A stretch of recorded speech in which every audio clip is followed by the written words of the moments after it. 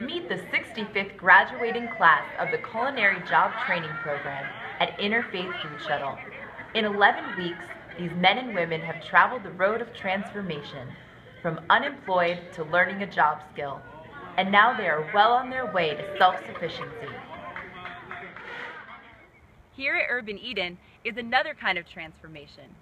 You're looking at what was once an abandoned city lot and is now a thriving community garden. But it's also a teaching farm where beginning urban farmers are learning how to grow food. Now that's a big job, to grow sources of healthy, fresh food in the middle of a food desert. But we've got just the crew to do it. Big hungry! Big Hunger! It's all part of Interfaith Food Shuttle's Urban Farm and Hoke Street Training Center, a hub for building food security in southeast Raleigh. The transformation from a food desert to a hunger-free and healthy community is just getting started, and that's where you come in. Now this abandoned warehouse looks pretty sad and empty.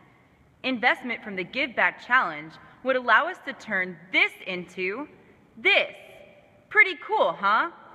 This community room will be a buzz with free food markets, nutrition education classes, community dinners, and just plain old neighborly fun. Now here's the really great part. We already have a matching grant to get it started.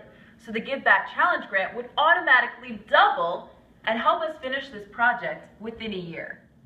We have the building plans. We have our friends at Rebuilding Together standing by to build it. All we need is you to vote for us right now. So come on, we all agree that hunger is unacceptable. Let's do something about it, together. Yeehaw!